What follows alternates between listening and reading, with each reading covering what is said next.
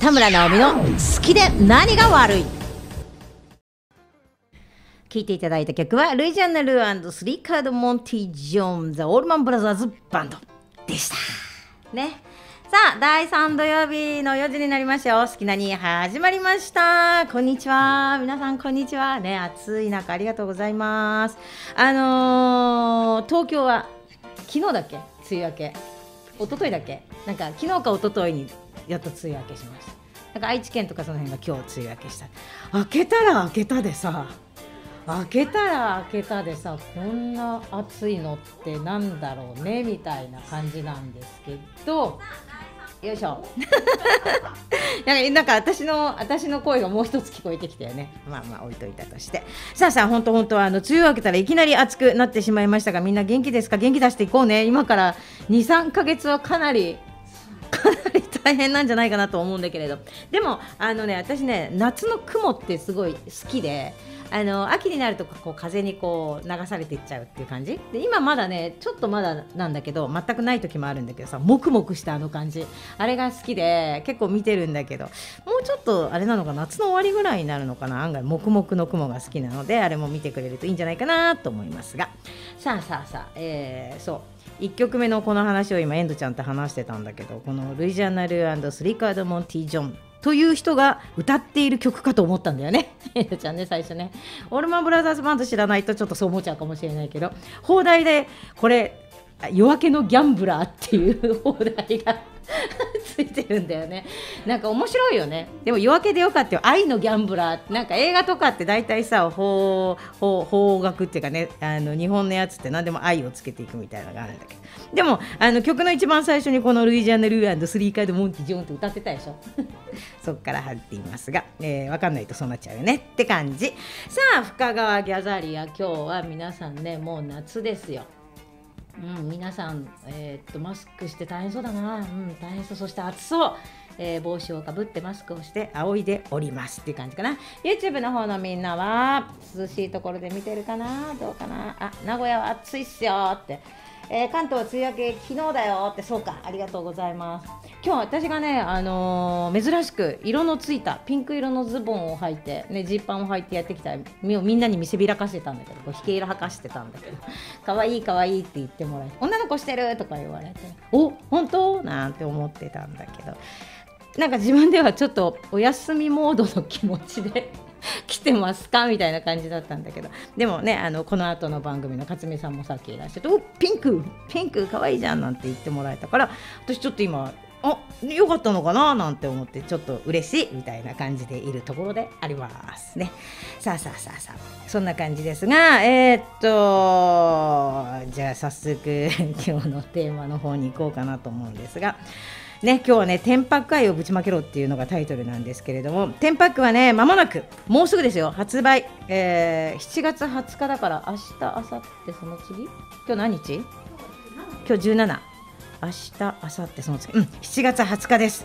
これ予定だったんだけど、もう予定じゃないよね、絶対。えー、ね、ショートウィズテンパクリバーサイドロックンロールバンドのテンパック5、5枚目ですね。これが7月の20日に発売されますっていうことや、ね、パチパチパチパチ。えー、あと1か月で8月の17日からね、テンパックのツアーも始まるし。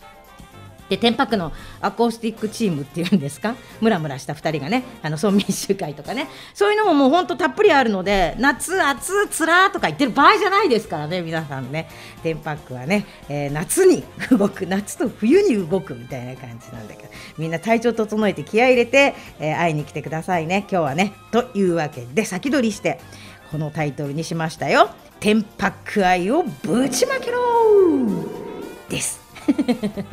ね、メラメラムラムラいきたいと思います、えー、そんなわけでメールアドレス言っておきましょうか。info.885fm.jp info.885fm.jp まで送ってください。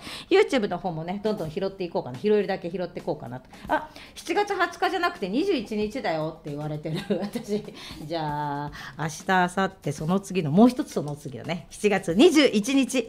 21日ですか？私誰に聞いてんだろうね。7月21日ってことになったよ。発売であります。ね、さあというわけで今日のテーマはもうちょっと先で。まずは2曲ね続けて聴いてください。聴いていただいた曲は Tearing Us Apart ティナ・ターナ with エリック・クラプトンそしてもう1曲は It's Make No Difference The Band バンドかっこいい。ずっと聴いてられるなんかいいなもうあの何？あ何？私の目の前には水平線と今夕日が見えていたんだけどずっと。いや音楽ってすごいよね。というわけでその2曲聴いていただきました。レインボータム FM エモーショナルビート田村直美の好きで何が悪いをお送りしていますよ。お送りしてますよ。ね。さあでさあであのね私今日絶対話したい話があったんだけどあのー、冷房いっぱいつけるじゃない？冷房とかさ除湿とかいっぱいつけるとさ乾燥しない？目が。目が。目がすごく乾燥するの。でなんかいい目薬ないかなって思ってていろいろ試してみてたんだけどなんかこの好き好きって大好きとか言ってる話じゃなくてねスカッとするやつ？もういいんだけどなんかこうもうちょっとなんかないかなって思ってたらヨガの先生にすごいナチュラルなのがあるよって教えてもらいましてそれがなんとアーユルベーダのあのものであのアイルベーダってねあの悪いものはとにかく出せみたいなものなんですけどとても自然なものなんですがあのインドのものらしくでインドのものをわざわざこう取り寄せてっていうのもなんなんだけれどもアマゾンに売ってるっていうから そうなのって思って それでアマゾンちょっと調べてみたんだけれどそれがドリシティっていうもう名前もすごく素敵なんだけどあのヨガをする時にこう目線って大事なんですよ。目線って。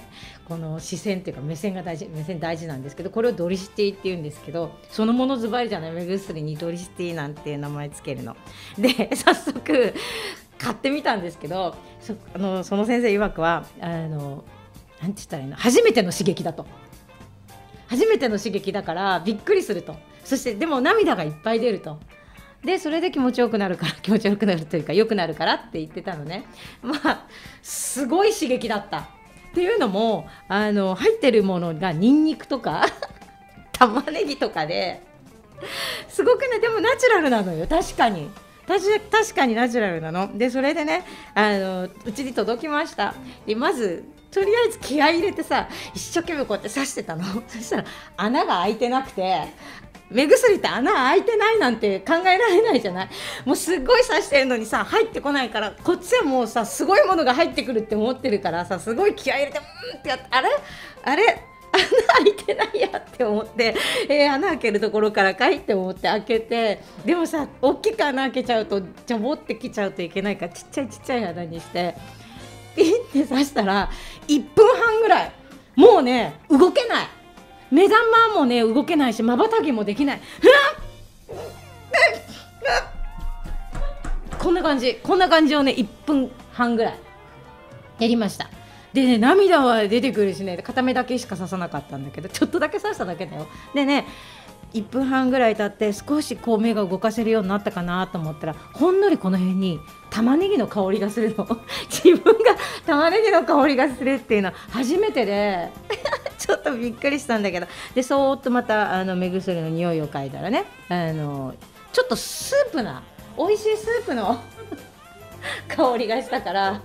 なんかこれこのまま飲んでも悪くないんだろうなと思ったからナチュラルはナチュラルなんだなって思って。でまあ反対側も刺してみて。それであの3日ぐらいしたら何て言ったらいいんだろう。目が目玉があって目玉の奥ちょっとうまく言えませんけれどもきっとなんかいろいろ大事なものがあるところがあるんでしょうね。最初そこがギューってなるんですけどなんかお花畑って感じになるふわーふわーって。涙もバーって出るんだけどふわーってなって3日刺したらだいぶ楽になった。なんかピッて刺してもちょっとって1分間ぐらいはするけどやっぱり。でも最初のあの刺激よりは良くなったかなと思うから意外とおすすめなのかもしれないって思って。で周りの人にもね言ってみたの。そしたらね男の人はやっぱりね怖いっていうみんな。怖くて絶対させないって言うけど女の子はすごいね。ちょっと教えてって。アマゾンだったら買ってみようかなっていうのがなんか結構100%に近いぐらいみんな言っててみんなそれから買ったかどうかは分かんないんだけどでもなんかすごく良かったです。でやっぱり涙を出すことってすごいいいことなんだなって思ってだからその目薬で出さなくてもいいんだけどね。悲しい映画だったりとかさねなんかグッとくる映画とか見ながら涙じゃあじゃあ出していくっていうのちょっとあの感想の季節は大事なんじゃないかなと思いました、うん、ドライとか本当冷房とかってすごい目乾く感じがします。それから iPhone とか PC とかもすごく見るからね。いやすごい刺激が欲しい人はねドリシティっていうね インドの目薬があるから。アマゾンで買えるからさ。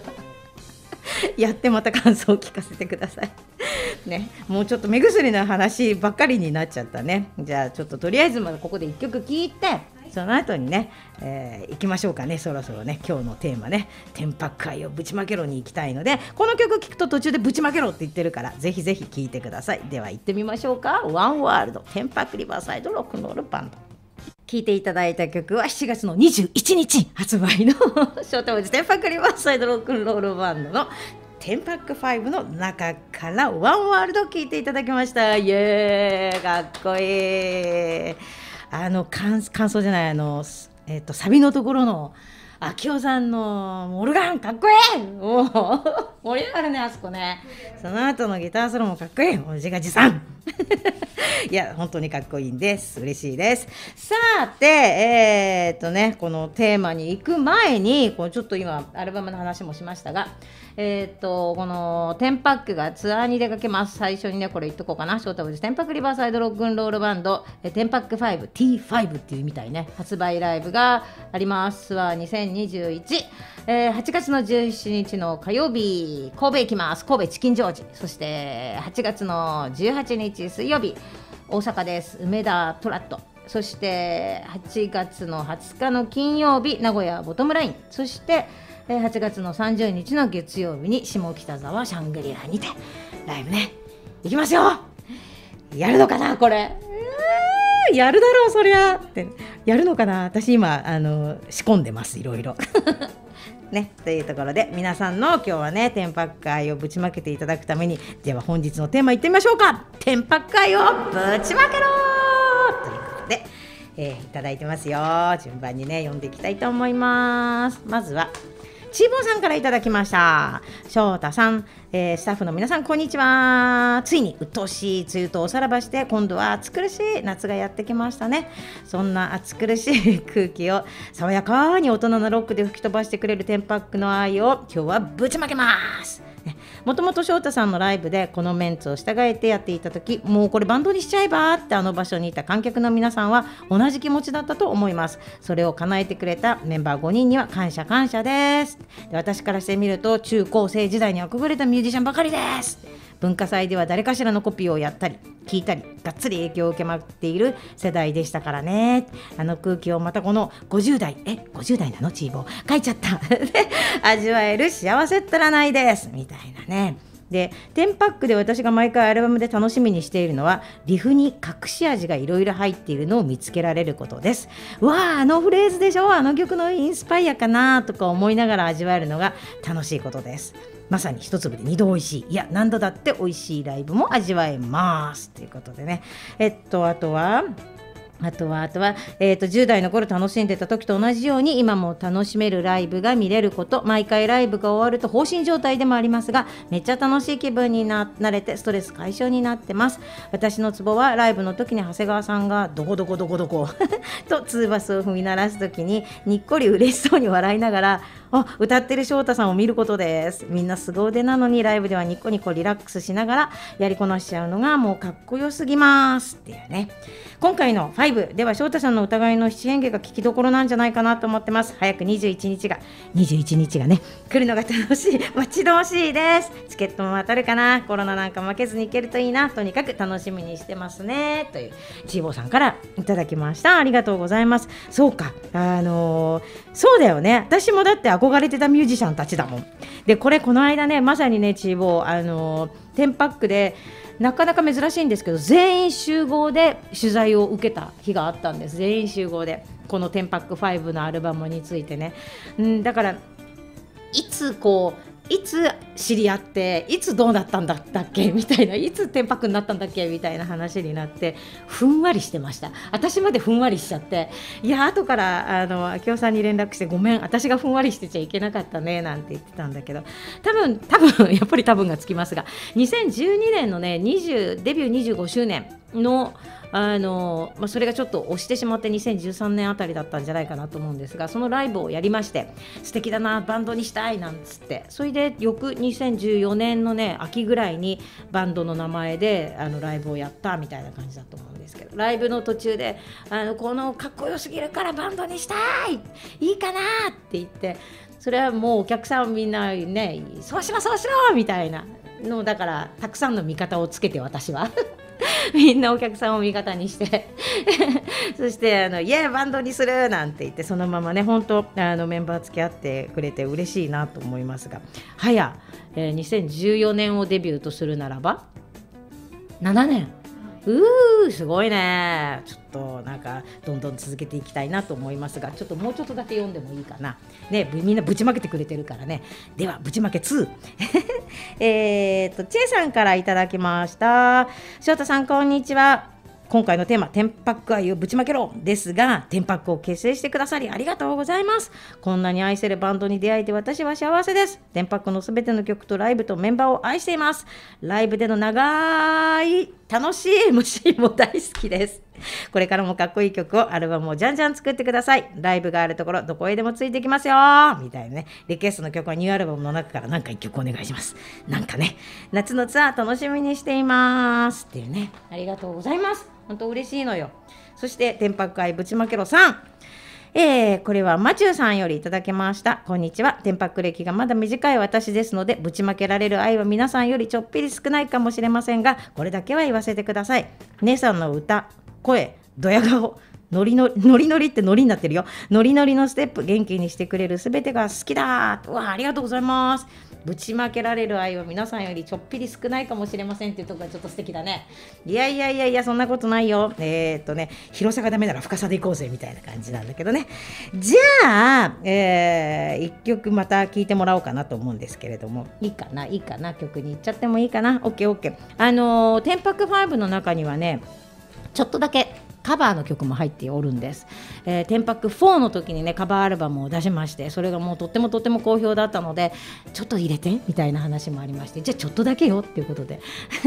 それでねこれ吉尾さんだったんだけどこれ翔太歌ったら面白いんじゃない？素敵なんじゃない？っていうことで選んでくれました。ちょっとタイトル言わないで聞いてもらいましょうか。ではではどうぞ。聴いていただいた曲はショートウェッジテンパクリバーサイドロックンロールバンドテンパック5のアルバムの中から夜桜お七聴いていただきました。今のエンディングが長くて遠藤さんがうんってなってるのがとっても面白かったです。ね。愛がありました。音が最後に切れるまで。聞かせてあげたいっていう愛だと思います。さあそんなねさっきも言いましたが、えーと、とショートウェイズ天白リバーサイドロックンロールバンドあなたの街に行きますよ。8月17日は神戸チキンジョージ。18日は大阪の梅田トラット。そして20日8月の20日は名古屋のボトムライン。そして8月の30日には下北沢のシャングリラにてライブをやろうと思っております。ねそんな今日はあの天白愛をぶちまけているのでそのまままたもうちょっと読んでみようかなと思いますがジュゴンさんからいただきました。東京も梅雨明けしたね。こんにちは。翔太直美ちゃん。はい、えー、あのさ天白と村民集会の、えーと、先行エントリーしたのよね。けど抽選発表より先に一般チケット明日発売なのよ。どうしたらいいか迷っちゃう。両方買ってまた参戦。あまだ参戦したことない。お初の友達誘っちゃう？みたいな。彼女はまあ横浜に近いしこの前どこにあるの？って聞いてたからそうしよう。決めたな、えみんなでライブ三昧だね。嬉しいな。みたいな。そうそう。あのープレオーダーとかもねちょっとありましてややこしいのかもしれませんがあの7月の15日の夜の9時から7月の25日の23時59分よし25日いっぱいまでねあの東京の方のえー、下北沢のシャングリラとそれから村民集会ねさっき言ってたあれもあるんですが横浜のミントホール、えー、ここだけはプレオーダーで先に先行発売が始まっておってで抽選になります。なんだけどこの2つに関しては一般チケット発売8月1日なので大丈夫よジュゴンさん。だけど友達誘ってきてください。ってな感じかな。さあさあそしてそしてそうだね。今ちょっと村民集会の話も出たので村民集会の話をしようかなと思うんだけどあのー、もう招待宇天白リバーサイドロックンロールバンドのアコースティックチームですね。えー、っとギターの吉尾さんと野村吉尾さんと私えー、っと歌で歌い歌ってます田村直美です。とね、えー、村民集会という村村2人で村村田村の村と野村の村で村村しながら進んでいく村民集会なんですがもちろんかなり長くやってるよもう、えー、行けるところまでっていうね ツアータイトルなんですがこちらも言っておきましょう、えー、8月の11日に神戸チキンジョージそして8月の12日に奈良ネバーランドそして8月の14日に大阪バナナホールそして8月15日京都えーと、染めの京都。そうして8月の26日横浜のミントホール。そして8月の27日が名古屋の BL カフェ。ね。ここまでやりやりたいと思います。だから村民集会をやってうおーってやってからテンパックやってうおーってやってまた最後に村民集会うおーってやって締めるみたいな。そんなあの夏を一緒に 過ごしませんか？ねそんな感じになっていますよ。さあ、えーと、こちらにもあるけどこの人はどなたですか？どなたか。アンさんからいきましょう。アンさんからい,、いただきました。天白愛をぶちまけろってことでね。田村姉さんこんにちは。私の天白デビューは去年の西尾のライブです。おー愛知県西尾市。ね。えーと、今までいろんなライブに行ってきましたが休憩があったのは天白だけです。いやー面白かった、えー、客席がマスクだらけだった西尾のライブからどっぷり天白にはまってます。なので明日は天白と村民のチケットを取りに頑張りたいと思います。そんでもって天白5のアルバム聴く用と保存用の2枚予約しましたよ。届いたら毎日聴きまくります。せ 姉さん名古屋のライブ絶対参加するからね待っててちょーみたいなのにいただきました。あのー、ちょっと混乱するといけないから後で言おうかなと思うんだけど私、あのー、ソロの田村直美の方のソロもねちょうど今ツアーの真っ只中で、えーと、来週の週末かな？で終わっていくんですけれどもそこにそこ、えー、言っとこうか。7月の23金曜日が名古屋のエレクトリック・レディーランド。24日の土曜日がね大阪のガブというところでやりますが、えー、名古屋の L23 日の金曜日の名古屋の L は有観客もあるんですけど配信もあります。で24日の土曜日は、えーと、有観客の現場のみになります。現場のみになります。こう間違いないようにね。そしてその現場ではあのー、はい一番早いんじゃない？これ、えー、テンパック5売ります。発売ここでも売れるのであのぜひぜひあのライブ遊びに来た人は、えーね、テンパックのアルバムも手に取って帰っていってほしいなというふうに思ってます。さあそんなところでもう一回ちょっと戻ろうか。もうちょっと戻ってみたいと思いますよ。ねえっとタカちゃん。そうだねタカちゃんをねタカちゃん読もうね。えー、っと、ラジオネーム、たかちゃん、7月17日のテーマ、天白会をぶちまけろ一言で言っちゃえば、はいやーです 宇宙に届くくらい大好きすぎる。あ、嬉しい、嬉しいな。えーと、メンバーの皆さんそれぞれの場で紹介してくれる新しいアルバムの曲たちはすでに私の耳にインプット済みです。実際 CD を手にして一気に聴けるのが楽しみでならないです。レコーディングの社会科見学やジャケット作りを参加させてもらったり今まで以上に思いが強いアルバムになりそうです。本当そうだよね。うん。個人的に2年前に天国に旅立ったシンガーソングライターのお友達がパール時代から翔太さんの大ファンでいつか天白のライブに行きたいと言っていただけに天白への思いはより深いものがあるんですよ。メンバーの皆さん、天白の音楽、みんなが、みんなすべてが大好きですっていうありがとうございます。ね、そんなみんなに天白愛まだまだあるんですけど、ぶちまけきれなくてごめんね、時間短いよね。うん、足りない、全然足りない、この愛に全然答えられてないというわけで、またまたここでちょっと一曲かけてみましょうかね。天白5の中から夢を追いかけた。聴いていただいた曲は夢を追いかけて、ショートウィズ天白リバーサイドロックンロールバンドでした。ね。さあ、今日は天白会をぶちまけろっていうことで、かなりぶちまけたかったんだけど、まだまだ全然みんなのぶちまけられなかったね。これ、ぶちまけられなかったので、8月、来月に持ち越そうと思います。ね、読んであげたいです。私も一緒にぶちまけたいです。とね、いうわけで、えーっとでもライブ村民集会のところのねライブの話もしましたしそれからもちろんテンパックの、えーっとね、ツアーの話もしたと思います。あちこちでみんなに会えるんじゃないかなと思ってちょっと嬉しく思っています。今日もね YouTube の人たちはみんなでねわーわーわーわーって言いながらね楽しそうにしてるのを遠藤ちゃんがすごく嬉しそうに見てるのが。それもちょっとねいいねこういうのね、えー私喋ってる時あんまり見られないんだけれどなんかすごく素敵だなと思いましたよ。